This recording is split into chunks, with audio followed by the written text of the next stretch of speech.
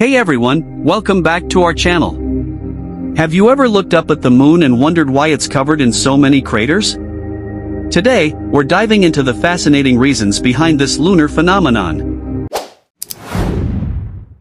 First, let's talk about what craters are.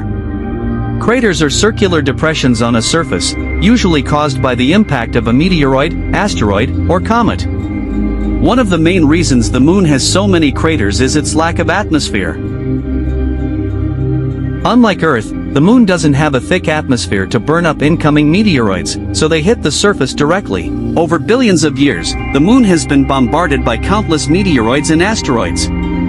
These impacts have accumulated, leaving a record of our solar system's history on the lunar surface. On Earth, weather and geological processes like erosion and plate tectonics constantly reshape the surface. But on the moon, there's no weather and minimal geological activity, so craters remain well preserved.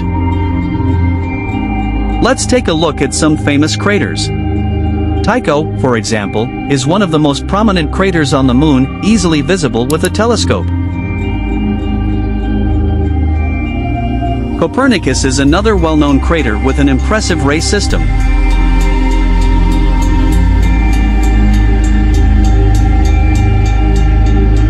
So, the next time you gaze up at the moon, you'll know why it has so many craters.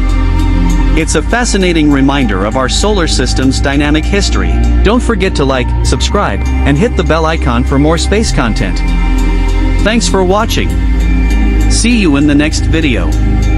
Keep exploring.